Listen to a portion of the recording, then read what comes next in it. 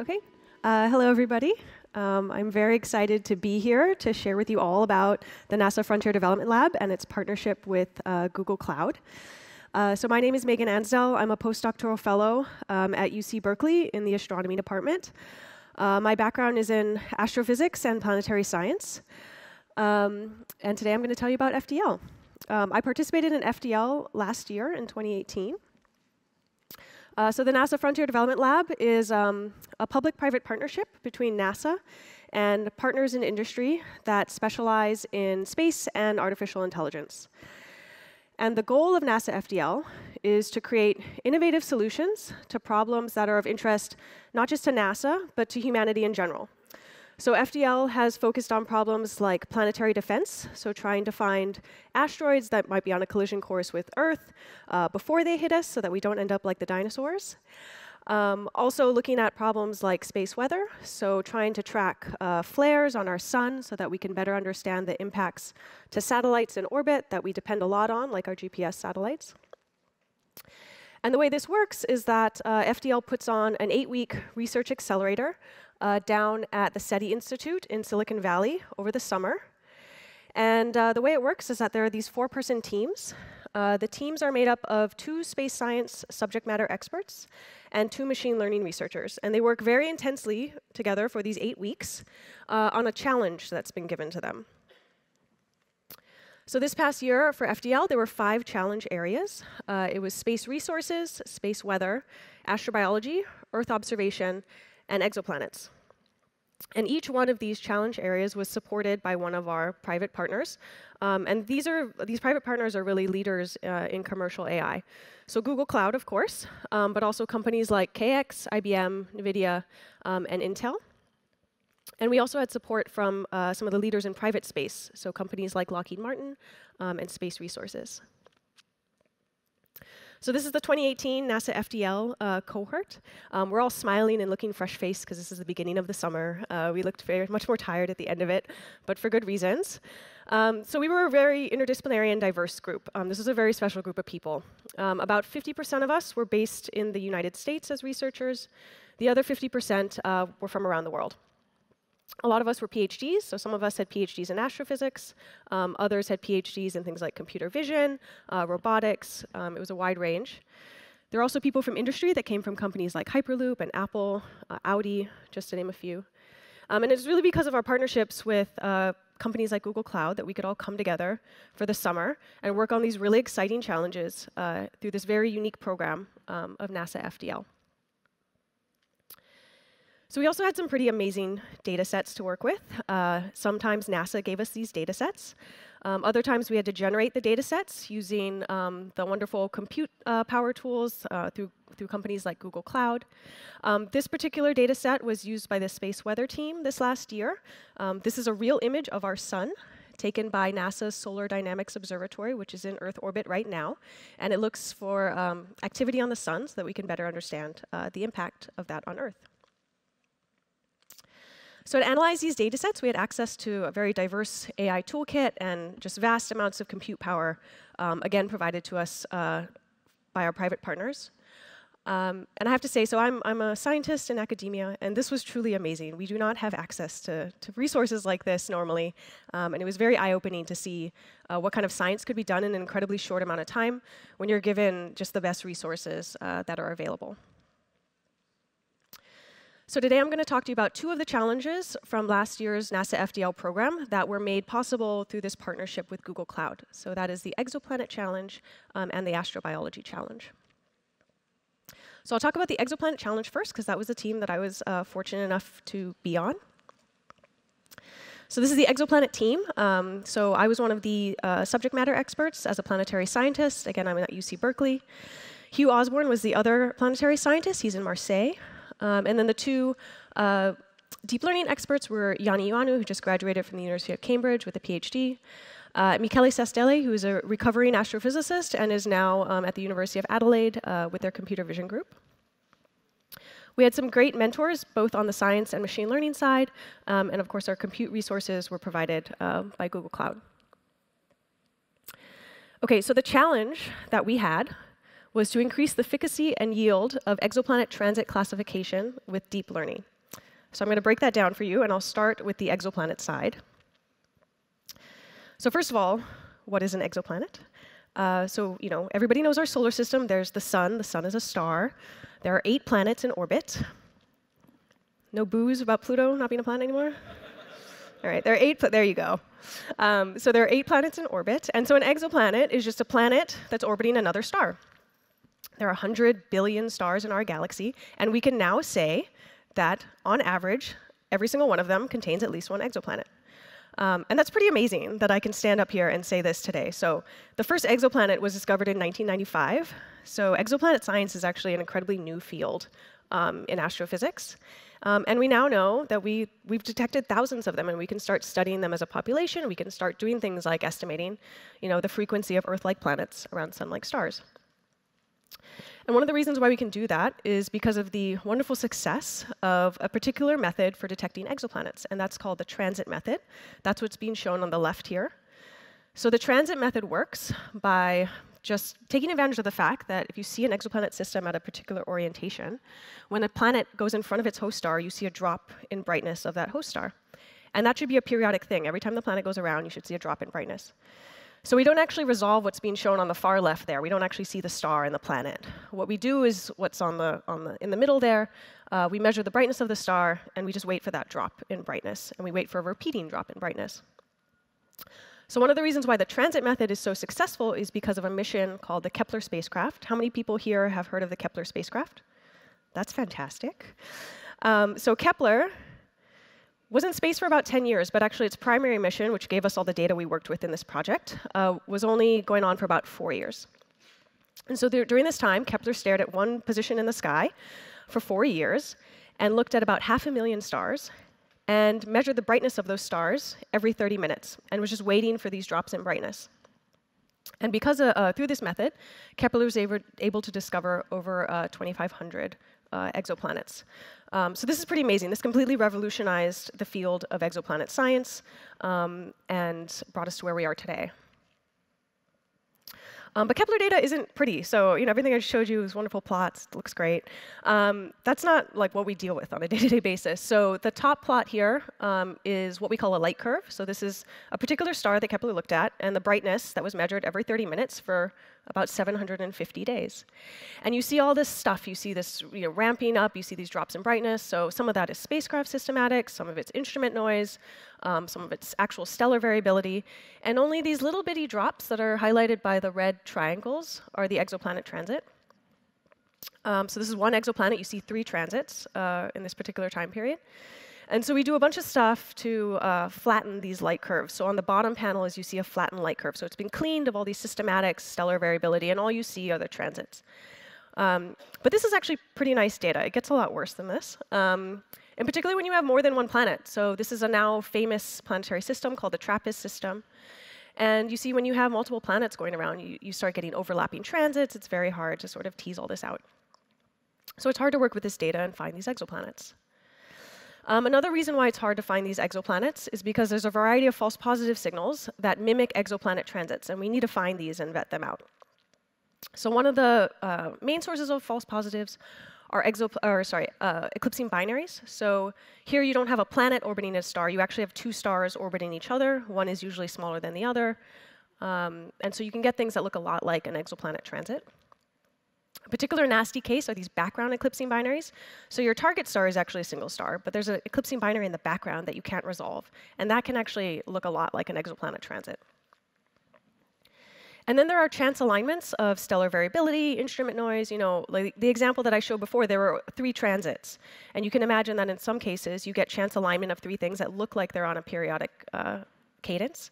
Um, and so you get uh, these false positives that way. And that becomes a problem when you dig into the lowest signal to noise transits, which unfortunately usually correspond to the most interesting cases of things like Earth-like planets in the habitable zones around sun-like stars, which was the whole point of Kepler. So you have to vet for all these false positives. So the way we do this, um, the Kepler team developed this very sophisticated pipeline, and I'll go through this very quickly, um, but this is sort of how we traditionally find exoplanet transits. So we start off with what are called target pixel files. These are little postage stamp images of stars. This is what's actually downloaded from the spacecraft. Then we use what we call aperture photometry. So you put down an aperture, you sum all the light within that aperture, and that's how bright the star is. You do that as a function of time, and you get those light curves that I showed you before that have all this systematics in it. You flatten those. Then you do an exoplanet transit search. So you start looking for these transits, and you record everything above a certain signal-to-noise threshold. You pass that through a data validation stage. So this is just you start fitting transit models, you start calculating statistics that can help you identify false positives. Um, and this is an iterative process. So you find one transit, you block out a light curve, you send it back into the transit, transit planet search, um, because as we know from our solar system, uh, stars can host many planets. Then when you're done, you feed all of this to a set of humans. Humans sit down. These are people's jobs, which is kind of cool. Their job is to just find exoplanets. Um, so they sit around and they look at you know, hundreds of thousands of these transit events, um, and they figure out which ones are real exoplanets and which are not. And this is a very time-consuming process. You're sifting through a lot of data. It took years in the case of Kepler. But at the end of the day, we get these wonderful exoplanet catalogs, and we can start answering questions like, how common is our Earth in the galaxy? But this last part, this last very time-consuming part, is where deep learning um, can help and where it already is helping. Um, and today I'm going to tell you about how we did that. So now I'll move on to the deep learning side of what we did, and in particular how uh, Google Cloud helped us do this. Um, so I'm going to give you a 30-second introduction to deep learning for people who aren't too familiar about it. So deep learning is a subset of machine learning. Um, it's called deep learning because it uses a series of computational layers to basically take inputs, translate them into more useful outputs by learning increasingly complex features in the data. Neural networks are a type of deep learning. They're called neural networks because their architecture sort of is loosely analogous to the neurons in our brain. And then convolutional neural nets are a type of neural network that takes advantage of spatial features in the data. And they're particularly good at classification problems, which is essentially what we're doing. We're saying, is this a planet or is this not a planet? So the reason why we want to use deep learning for exoplanet transit science, um, there's a bunch of them. So one, it's quick. You train a model, and then you can classify hundreds of thousands of candidate uh, tra uh, planet transits within seconds instead of years. Um, it's systematic. So this human vetting that I talked to you about, you know, it's full of biases that you can't tease out. So I didn't have coffee this morning. I saw an eclipsing binary the last time I tried to vet a candidate. Um, I've seen planets the last 10 times I've looked at planets. Like all of this stuff biases your decision-making process, and it's really hard to tease out those biases and correct for them.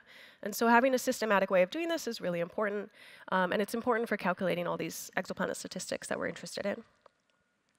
As we'll see from this presentation, there's also easy to upgrade these models. So you want to improve your model. It's easy to retrain and apply to new data. Um, and it's quantifiable. So you're not just saying, this is an exoplanet, this is not an exoplanet. You're saying, this is an exoplanet with 0.8 plus or minus 0.1 probability. And again, you can fold that into these exoplanet statistics and make them a lot more robust. So the first people to actually um, apply deep learning to exoplanet transit classification was Shallue and Vanderburg 2018. So Chris Shallue works at Google Brain. Uh, Andrew Vanderburg is a postdoc in astrophysics, like myself. And they made a model called AstroNet. It's available on GitHub if you want to download it and play with the model. The model architecture is shown on the right. But basically, it's a deep convolutional neural network. It was written in TensorFlow. And the inputs are these global and local views of the phase-folded candidate transit. So what I mean by phase-folded is that I showed you these light curves before that span you know, four years. But there's a signal in there that's periodic. So you can fold the light curve on that period, and you get these nice uh, exoplanet transits that are shown on the bottom here. So they input these global and local views. The global view is uh, important because it shows you the whole transit. So in the case of these eclipsing binaries that I told you about, when there are two stars eclipsing each other, you actually get a primary and a secondary eclipse. So you get an eclipse when the star, when the smaller star goes in front of the bigger star, and also when it goes behind. And that's because you have, you're dealing with two very bright objects. You don't see that with a planet because the planet is small and it doesn't have its own brightness to it. So that's important for identifying things like eclipsing binaries. The local view zooms in on the transit and maps out its shape in more detail. And this is important because uh, true planet transits actually have a pretty unique shape. They kind of have a box-like shape. That's actually one of the ways that we, um, we can detect them. And that's just because the planet is so small compared to the host star. So both of these are important. Um, they're fed in uh, as separate disjoint one-dimensional convolutional columns um, into the model. The outputs of the convolutional columns are flattened and concatenated, then fed through a series of fully connected layers, and then a sigmoid layer. And the output is this number between 0 and 1, which loosely represents the likeliness um, of that particular transit being associated with a, with a true exoplanet. So Astronet did something really cool, discovered two new super Earths. Um, in two different systems. Uh, super Earths are really cool because we don't have them in our solar system. So if you imagine our solar system, which is shown on the bottom here, we have the rocky planets in the, in the inner solar system, and then we have the big gassy ice giants on the outer solar system, and nothing in between. So super Earths are cool because we don't have them in our own solar system. They're also really cool because it turns out, what we know from Kepler now, is that they're by far the most common type of planet in the galaxy. Um, so they're important, and we need to learn about them. So the Kepler 90 system um, was also a sun-like star, so it was a super Earth around a sun-like star. And it brought that system, it uh, brought it up to uh, eight planets in the system. So it's actually the system in our galaxy with the most known exoplanets, and it brings it up to a tie uh, with our own solar system. So what we did over the summer through FDL uh, was to upgrade Astronet with uh, what we call added scientific domain knowledge. So it's just information that us scientists had that could improve the model performance and it ended up improving it for, in particular, the low signal-to-noise transits that correspond to Earth-sized planets. And we called our model ExoNet, and it's also available on GitLab if you want to check the model out. The updated architecture is on the right. Uh, but what I wanted to do before I get into the science side of it was just highlight um, the role of Google Cloud. So Google Cloud uh, was really sort of the glue that held the whole project together. So through it, we could make our code in Python through a collaborative environment of the Jupyter notebooks. Um, we called on PyTorch and scikit-learn to build and test and train our models. Um, and the whole thing was incredibly seamless. Um, and you know, as someone, I walked into the FDL program with no machine learning experience, very little collaborative coding experience. And Google Cloud made the whole thing incredibly easy to learn and to pick up. Um, each of our team members had custom in instances. We had our own virtual machines, um, so we could sort of customize uh, these machines to whatever we happened to be doing at that moment, whether it was building the model or training it or testing it. We had access to you know, amazing GPU resources, um, and we used a persistent solid-state drive uh, for reading our data quickly for training. Um, and so again, I just want to you know, highlight, as an academic, this was absolutely amazing. Um, let me give you some insight into how it works in academia. So we typically apply for a grant uh, to NASA or, or the National Science Foundation. And sometimes those grants let us buy hardware. And so we say we want to buy this hardware. It's usually not V100s, because then we would not get the grant approved. Um, but you get some money for hardware if you're lucky enough, and then you go off and you buy that hardware. Um, and then you use that hardware for on the order of five to 10 years, sometimes longer. Um, and then you get another grant, and the whole process starts over again. So it's very uh, slow, and so our resources are not just limited, but they're out of date. Um, so to have the resources that are provided by Google Cloud um, was, was pretty amazing. OK, so what did we add to our model to increase the model performance? So one of the things we added uh, first was a centroid time series. So I showed the light curves before, which is just how bright the star is as a function of time. The other thing you get from this data, so I mentioned before, what we actually get from the spacecraft are these postage stamp images. So you can lay down an aperture and measure the brightness within that aperture, but you can also measure the pixel position of the center of light within that aperture. And that's called the centroid. And you get that as a function of time. So in this case, let's say you have a background eclipsing binary. When that eclipse happens on that background source, the centroid will actually shift. It'll shift away from that binary. And you can use that information to identify false positives. Um, so this is what I mean. Um, so again, these global and local views of the, of the phase-folded uh, transit. On the top is a real exoplanet. So you see the transit, but you don't see a shift in the centroid, which is shown in red. Um, on the bottom is a background eclipsing binary, and you can see in the transit, you get this shift in the centroid. So you can take advantage of that information. And so the way we did that was to create secondary channels in the convolutional columns um, and to feed in the centroid time series along with the light curve. The other thing we did was add stellar properties. So one thing I didn't mention is that with this transit method, the planet properties you get out actually heavily depend on the properties of the host star. Um, so one of the things we did was uh, tell the model the properties of that particular host star. And there's a variety of reasons why this might help, but I'm showing one of them here. So here you have a giant star uh, being orbited by a main sequence star, and I'll explain what that means. So if you have a binary system, and by the way, half the stars in our galaxy are binary systems, so our sun is single, but actually 50% of the stars in the galaxy are binary, so this is an important effect. Um, when you have a binary system, they don't evolve at the same rate. They don't age at the same rate. Usually one ages quicker than the other. And when that happens, the star blows up um, and becomes a giant star. We call it a giant star because we have no imagination. But it gets really puffy. Um, our sun is going to do that. And when it does that, it'll actually engulf the Earth. Um, so that's how big these things are getting. But you can see the size difference is actually really similar to a, to a star and a planet. So you can get exoplanet transits, um, or things that look like exoplanet transits, when really it's, a, it's just an old star with a, with a middle-aged star orbiting it. So we fed in the stellar parameters, um, we concatenated them to the outputs of the convolutional columns before the fully connected layers, and that's how we took advantage of that information. So we were able to increase the model performance um, over the baseline AstroNet by a few percent. Um, AstroNet was already performing really well, so that uh, increase of just a few percent um, actually corresponded to about 50% decreases in model error. Um, and there's a precision recall curve shown on the right that shows you that the centroids actually provided the best uh, boost to the model performance, but um, the stellar properties also helped. Um, what was interesting, though, is not just the overall model performance, but it turns out that we were getting uh, much better recall, almost 20% higher gains in, in recall for exoplanets that corresponded to, uh, that had the lowest transit signal to noise ratio, and these correspond to Earth-sized planets. So what it's telling us is that our model ExoNet might be able to find uh, Earth-sized planets still lurking in the Kepler data, and that's what we're working on right now. Okay, so at the end of the day, we were able to show that scientific domain knowledge improves exoplanet transit classification with deep learning, and all the scientists let out a big sigh that their jobs are not being taken by the machines just yet.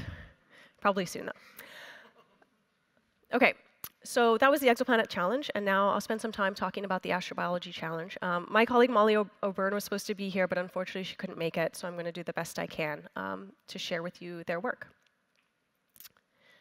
So this is the astrobiology team from last year. So Molly O'Beirne and Michael Himes were the planetary scientists, and Frank Soboczenski and Simone Zorzan were the planetary scientists, or sorry, were the computer scientists.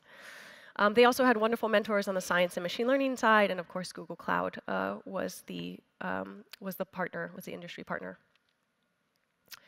Okay, are we alone? That's a question that's been asked for hundreds, if not thousands, of years. Um, and what's really exciting is that we're actually at a time when we might be able to answer this question. In the near future, we might be able to detect signatures of life on another planet. So the first step is finding those other planets, and as I just showed you, we're getting pretty good at that. But the next step after that is to figure out which one of those planets is most suitable for life, and therefore where we should look for life, where's the most likely place that we can detect life. Um, and that's, that's the hard part. That's still pretty hard. So the challenge for the astrobiology team was to use machine learning to try and identify possible extraterrestrial life on other worlds. Sounds pretty easy, right? But they did have a starting point. So what scientists uh, think they want to do is to look at the atmospheres of exoplanets, and in particular to look for molecules or groups of molecules in those atmospheres um, that are indicative of biological activity on the surface of those planets. And so those are collectively called biosignatures.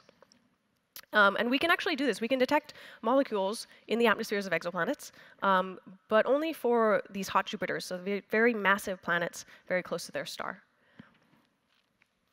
And the way we do this is uh, we get a spectrum. So we use telescopes in space to get a spectrum um, of the atmosphere, and that spectrum has fingerprints of these molecules. And we use something called atmospheric retrieval to infer the actual composition of that atmosphere from that spectrum. The problem is that atmospheric retrieval, um, the traditional way of doing it, is incredibly uh, in, it's incredibly time consuming. So it takes days, if not weeks, on supercomputers to actually back out atmospheric uh, composition from a spectrum. Um, so this is where machine learning, a uh, different approach, can, can speed this up. So the astrobiology team created a code called INARA. It stands for the Intelligent Exoplanet Atmospheric Retrieval. So Inara is really cool. It's an all-in-one flexible open source tool. So it starts by generating planetary spectra using NASA's Planetary Spectrum Generator, or PSG. So the reason why the astrobiology had to generate its data is what I just mentioned. We can only measure exoplanet atmospheres for these hot Jupiters. Um, for Earth-like planets, it's much more difficult. We're not quite there yet, but there are plans for spacecraft in the future to be able to do this. And so this is very important precursor work. And so what the NASA's Planetary Spectrum Generator does is uh, it'll produce a synthetic spectrum based on certain spacecraft um, configurations um, and a given planetary atmosphere. So they created these spectra. Um, they can be saved locally or to a Google Cloud bucket.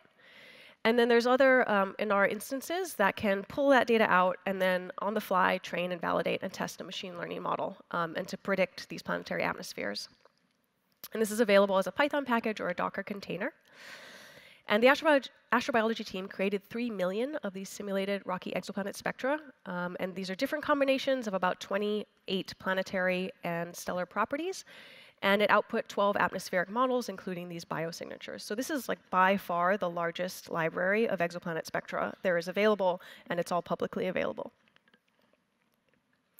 So this is more of a visual, visual way of what I just said. So this is the Inara Google Cloud Platform landscape. So there, there was the data generation size, and again, 3 million unique spectra, and they used 2,000 Google Cloud uh, virtual machines to do this. So the way it was uh, laid out is that there were these uh, virtual machine nodes that had the NASA PSG tool on them, and then 16 Inara Docker instances were connected to each of those nodes, querying the PSG to make spectra. And then those instances were saving the spectra to a Google Cloud bucket. And then there were separate Inara machine learning training instances that were connected to that Google Cloud bucket, actively reading those out and training the models on the fly. And the astrobiology team did a grid search of 70 model architectures, um, primarily written in uh, PyTorch, but they also explored different uh, frameworks using Keras and TensorFlow. Um, and what's also cool about this is that uh, if you had a project that was sort of similar to this, you can take this framework and just input your own spectrum generator or what generator of whatever, um, and then input your own machine learning model. And so this whole framework is set up, and you can actually just plug and play whatever you need for your for your science needs. So this is the model architecture they decided on. In the, uh, in the end, it's actually quite similar to the exoplanet one. It's a one-dimensional a series of one-dimensional convolutional uh, layers with max pooling, um, which were then fed through some fully connected layers at the end. So this is a result from just a random planet from, from their sample, only for five molecules. Um, so it's a bit hard to see, but there are some red stars that are the true value of that planetary atmosphere. Um, and then you, the sort of colorful blobs are the uh, predictions from the model. Um, and you're getting a distribution, because this was actually a Bayesian deep learning uh, model that took advantage of, of concrete dropout to create these posterior distributions. So you can, say, you can see it does pretty well um, for these molecules. Um, but it actually predicts 12 molecules. This is much more than, than other planetary retrieval methods. Um, and of course, the big benefit is that you know, this is created in seconds, whereas previously atmospheric retrieval requires days um, to do the same thing. All right, so in the end, the astrobiology team generated uh, 3 million uh, rocky exoplanet spectra and developed um, its first machine, machine learning um, atmospheric retrieval model for rocky terrestrial exoplanets um, like the Earth. So this is pretty, pretty amazing. And it's all publicly available if you wanted to play around with it. Okay, so um, that's all I had for you now. Um, I, I've had a great time sharing with you. I hope you had a great time learning about some of the cool science that can be done through the Google Cloud Platform. Um, and I just want to finish by saying, like, this was an amazing experience for me to go through this program. Again, I had zero machine learning experience going into this, and the tools that are available through the Google Cloud Platform made it not just easy to learn, but also enjoyable and fun to learn. So I'm very excited to see all the future science that can come out of collaborations uh, with the Google Cloud Platform. Thank you very much.